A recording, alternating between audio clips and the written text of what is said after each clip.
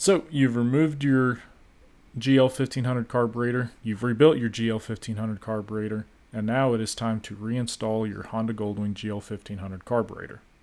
Let's go ahead and let's show you how to do it.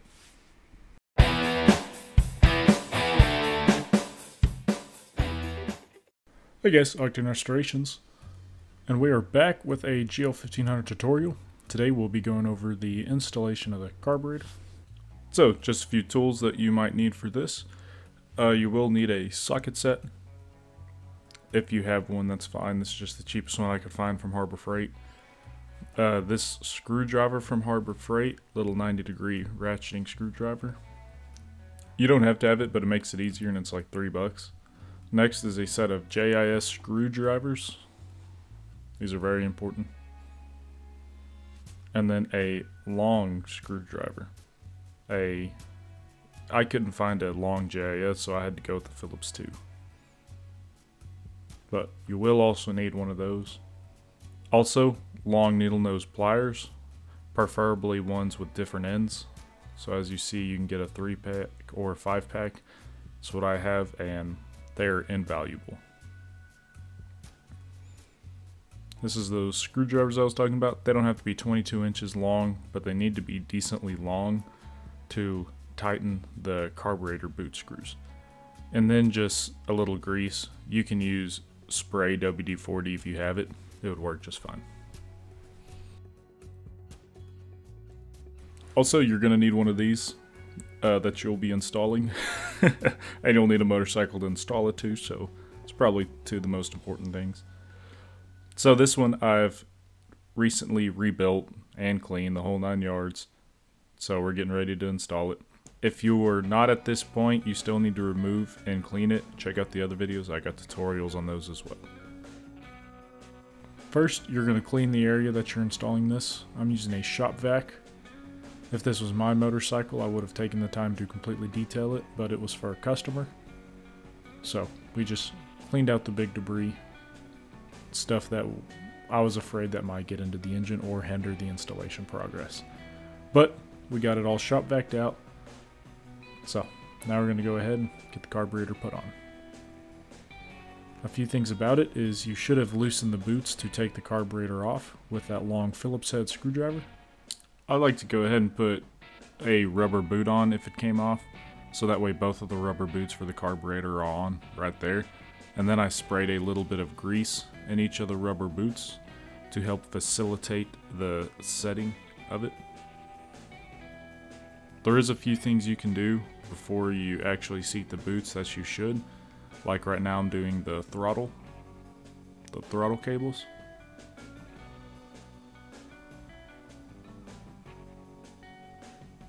They're just a huge pain to do. Near impossible to do with it seated. So you want to go ahead knock out the throttle cables.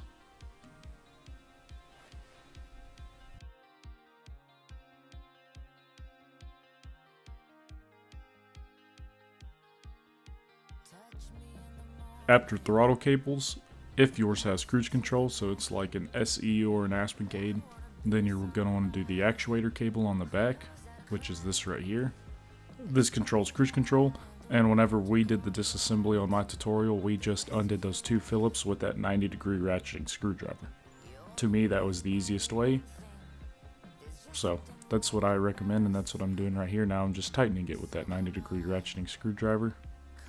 You just put the cable back in the cable holder and then redo the two JIS screws. So in my opinion, that's the easiest way to do it. Also in the back here, we do have a choke cable that is going to need to be put in as well. And then we got those hoses that you see near the bottom of the screen, the ones with the white lines. Also, don't forget to install your fuel lines, you might need those. Those are going to be on the side of the fuel filter and the gas cap, so towards the rear of the motorcycle. You know, you should have taken them off to get to this point, so you should see how to reassemble them, but just remember to install those. Normally there's two of them that connect to a T, and then you just connect your fuel line to that T. Just depends on the configuration and the year of your motorcycle. Really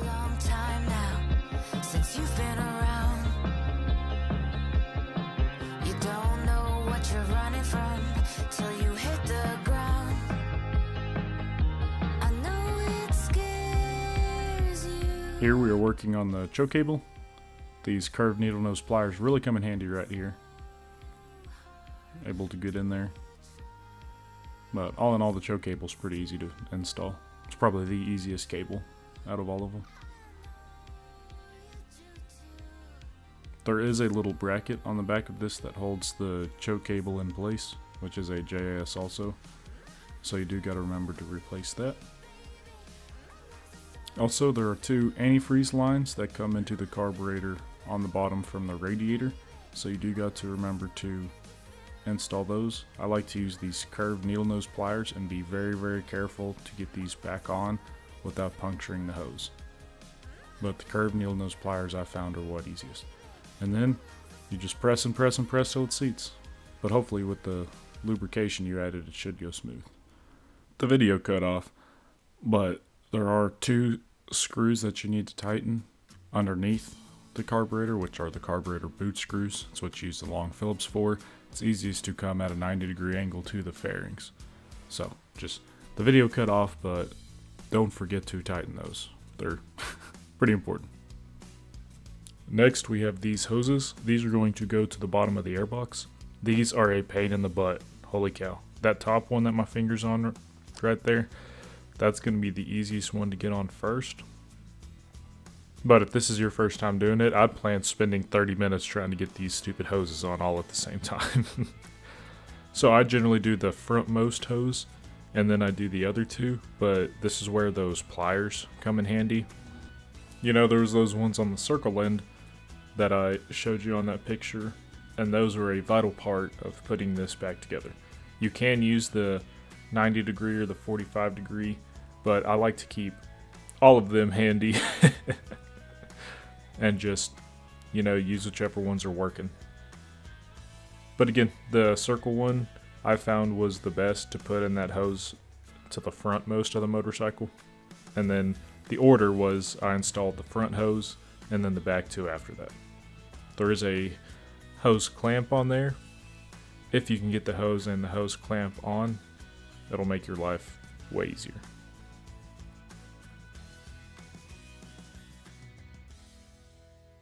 Next, you just got six JIS screws to tighten this airbox back down.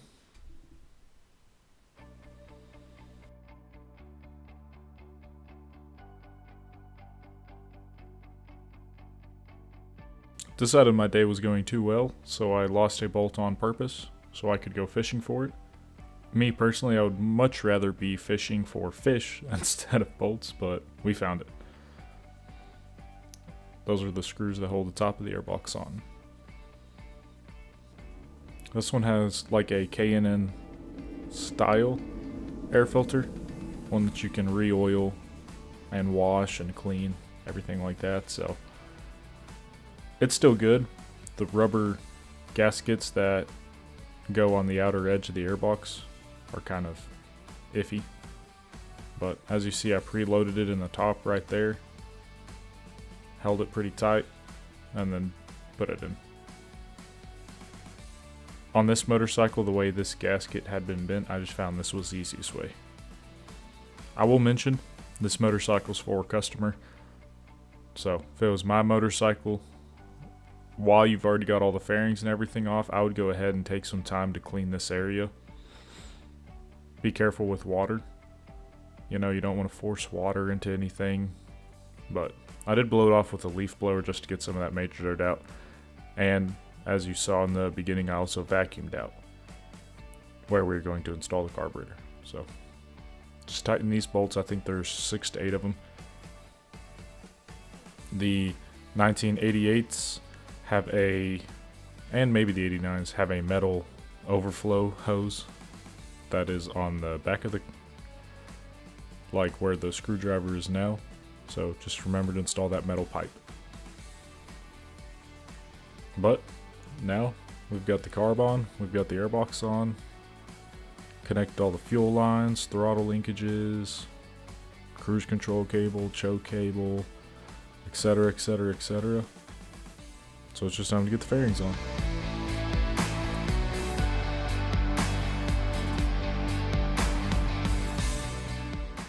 Now at this point all you're going to be doing is replacing all of the fairings in the correct order. It's just a exact reversal of the removal. Should have three screws that hold this one together and then that little divot on the bottom. Then you have plastic covers to hide the screws. Little screw covers.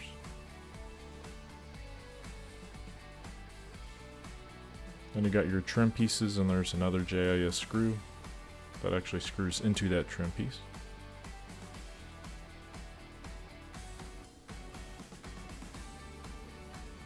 But I'll let you watch this. I don't think there's any point of going over every exact screw placement. Because y'all, y'all have done this. You would have disassembled to this time. Hopefully, whenever you disassembled, you took pictures and took videos, especially if it's your first few times doing it. Like I said, I completely record everything I do. Now remember, there is a screw on the inside that you got to install before you can put that side cover fairing on that I was messing with right there. And this side, if you do have an Aspencade or an SE, then you have a reverse switch. So again, don't forget those. But otherwise, I'll shut up and just let you watch me install some bolts and screws.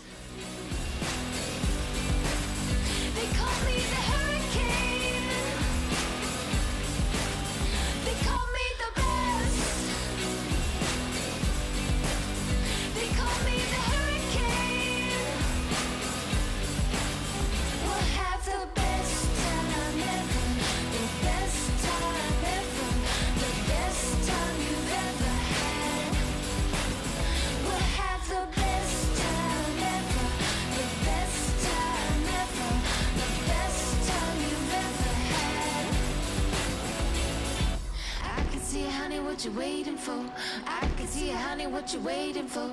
I can see, you, honey, acting kinda funny. I can see, you, honey, and don't you want me? I can see, you, honey, what you're waiting for.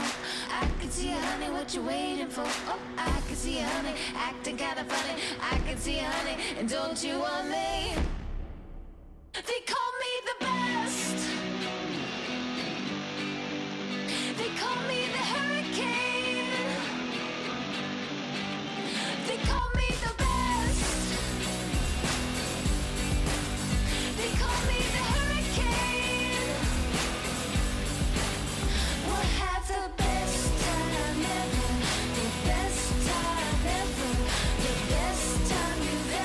One thing to consider before you get all this stuff put back on, if it's been a while, you might change your fuel filter. It's right there, it's pretty easy accessible. But if you don't plan on doing it, then you just got to put this piece on along with the two covers that go near the steering stem and then the seat. Normally your bolts will be an Allen head, but the bolts holding the seat to this motorcycle were lost. so I got a screw with the right thread pitch and everything like that, right length, but it's a 13 millimeter socket. So makes it a little harder because that rubber likes to catch on that metal, but we're just making do with what we got. But yours should be an Allen. Well, that's all there is to it. We've taken the carburetor off, we've disassembled it, we've cleaned it, and then we've reassembled it, and we've installed it. So, again, this is Octane Restorations. Thanks for watching this GL1500 tutorial, and you have a good rest of your day.